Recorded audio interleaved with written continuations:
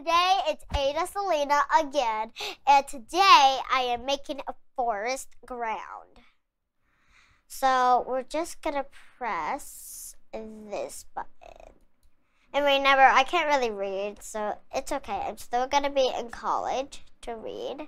And I gotta do this whenever I'm gonna be in college. But let's just get started, okay? Okay. Sorry that I can't really do it still, but it's okay.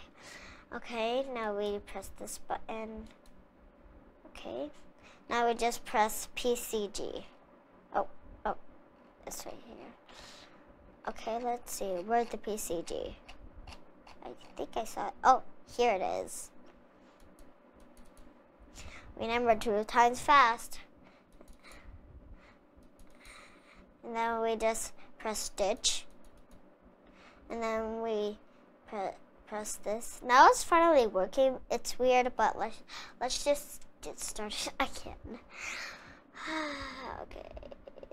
Um, let's do this button. Then oh wait, what happened? Okay, let me let me just do this. There we go. That is how you create a ditch, but if you want to play it, then you just press the green button. It kind of looks like YouTube, but that is okay. We'll just have to go to the other side. Don't really press restart. Okay, and that, and you just have to press a button again, and then you use con your controller, and this on the on the left part, then you can move it, and on the right part is that you can move its camera.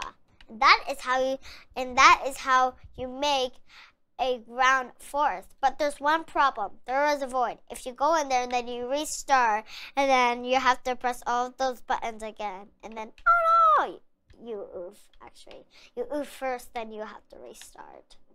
I remember that I got stuck in there again, but that's okay. And bye, guys. Thank.